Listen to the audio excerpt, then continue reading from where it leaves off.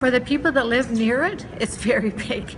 Uh, it's uh, in the area of Cumberland, Oxford, along that are backing that one rail line. It's a big issue, and it's continue that continuing to grow. Obviously, they're just little missing pieces, but we're there now, and I think moving forward, we'll be able to address those hot spots um, where we are seeing that we can make minor improvements to stop the whistles, and often they're connected with another spot down the road, so it will make a big difference. 2017 and 18, we can address those really significant rail crossings that have had whistles going on for a long time.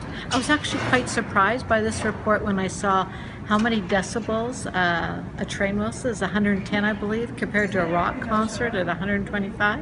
So if you're living near a rock concert on a regular basis, we'd all be complaining. So hopefully we'll have some answers soon for those communities.